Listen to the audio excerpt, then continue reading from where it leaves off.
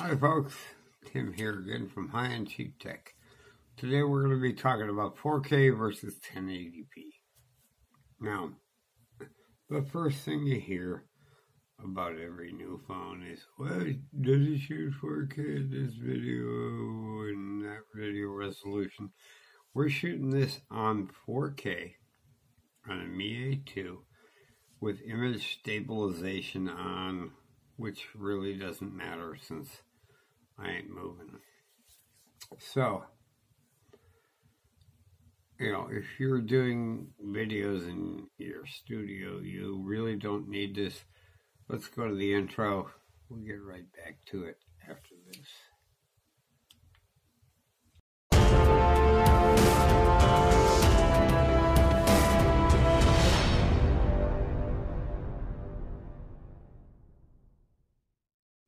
Hi, folks. Tim here, just cutting in. Quick message about TubeBuddy.com.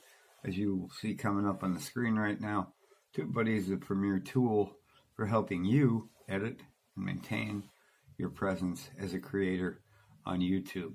It integrates flawlessly. They have a free version. Uh, it goes right into your browser, and you use it as you're you know, doing your editing and uh, and uploading. And it, it's an excellent tool. Uh, as far as prices go, the price is coming up on the screen. Um, if you get the free version, a lot of times they'll offer you, uh, they'll make you an offer. They made me an offer, and I'm only paying four dollars and fifty cents a month. So check it out at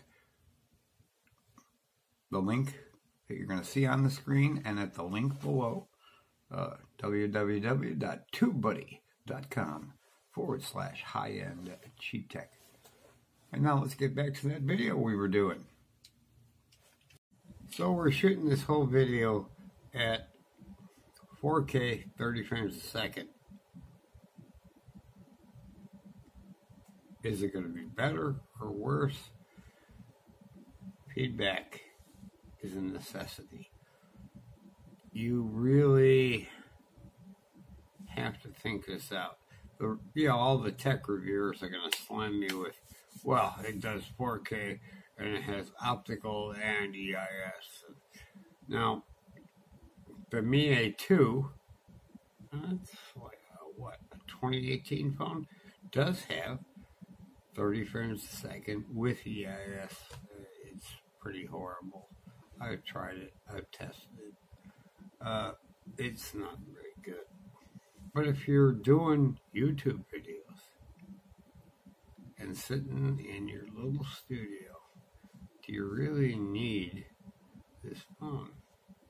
If you're taking pictures of your grandkids and sending them on Facebook or wherever, uh, videos, do you need EIS? Are you worried about your video quality? Do you really think you're John Ford directing John Wayne? If you do, well, that's fine. But if you don't, I don't know.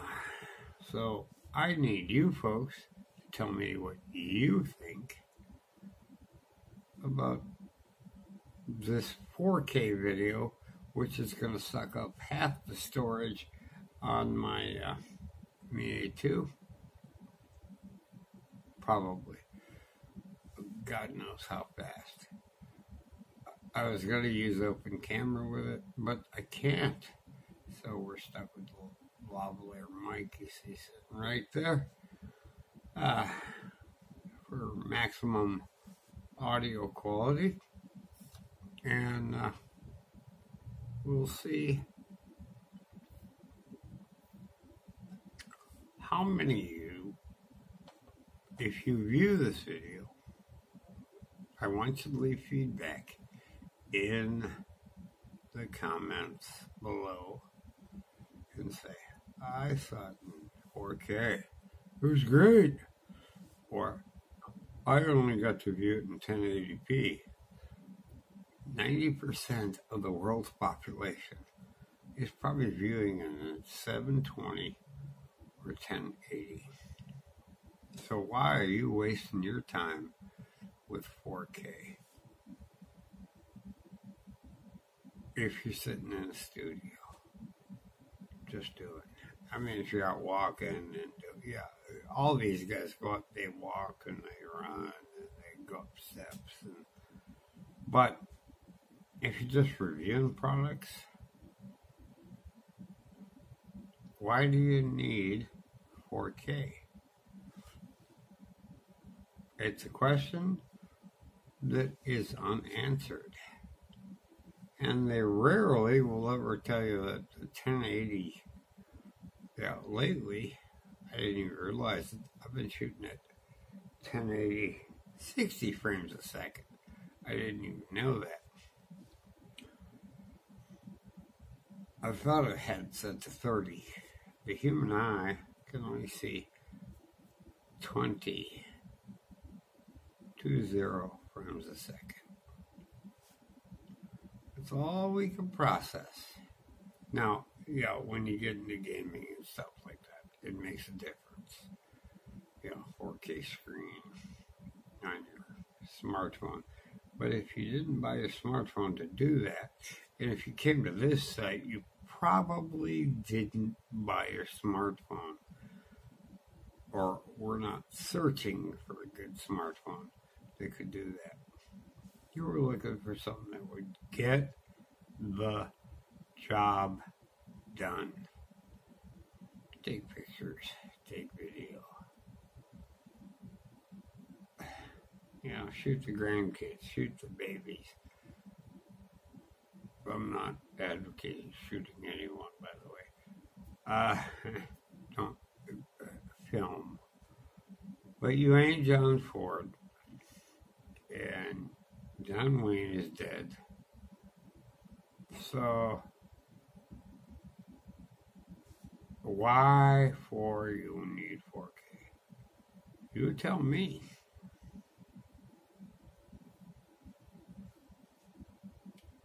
That's all I got for this first video of the day. So let's uh, wrap it up and send it to the outro.